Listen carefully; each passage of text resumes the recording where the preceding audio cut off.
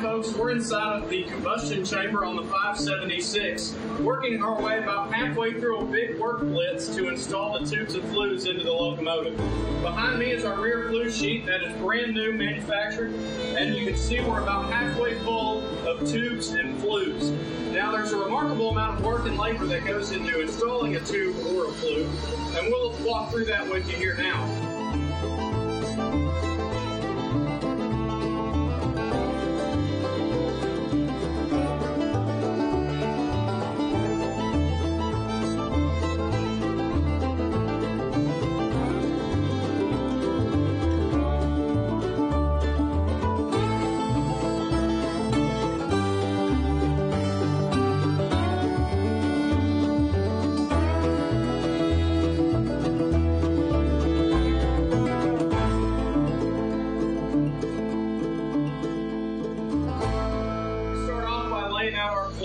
Cutting them to the proper length. Each hole is measured to get a good and precise, accurate length to make sure we've got plenty of room for both seal welding on the inside here or beading on the front side. The flues and tubes are then cut with a chop saw and the ends are polished to make sure that there's no contamination or foreign objects to interfere with the seal fit between the flue and the rear flue sheet or front flue sheet here. We've gone through and polished out each one of our holes and broken a radius on the inside to make sure that the flue is not cut by the sharp edge of the sheet to ensure the longevity and, and prevent future defects or cracks. After that, our flue is then inserted into its respective hole, whichever hole it was that we measured and cut that specific length for, through a grid pattern here so we can keep track of them. Our flue is then going to be set to the proper length, front and back, clamped into place, and we will begin the rolling process on the rear side or the combustion chamber side and finish the rolling process on the front or the smoke box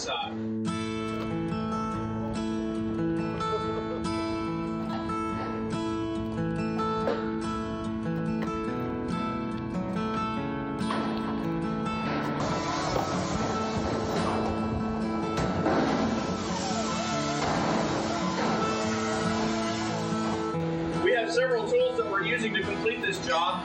This right here is our flue roller. You can see it's got about a three inch diameter on this outside here. And these rollers interact on the inside with a center pin that's tapered. As this tapered pin is rotated by means of an air motor, electric drill, or otherwise, any you know rotating appliance, that actually pushes the rollers out, expands them, and since it's moving in a circular pattern, it basically stretches the flue or the tube out to fully fill and seal tight against the front or rear flue sheet.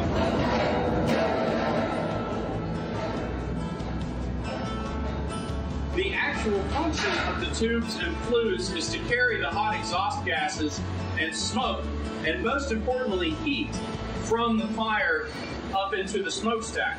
On the other side of the flue, in this area here behind this sheet, it's all surrounded by water. The heat transfer that's taking place inside of the tubes and flues is the second step of the process for making steam that can be turned into work to move trains down the railroad. Every part of this incredibly complex and labor intensive process was made possible and is thanks to all of you at home, all of you that served and worked with us in the shop, and everybody in between.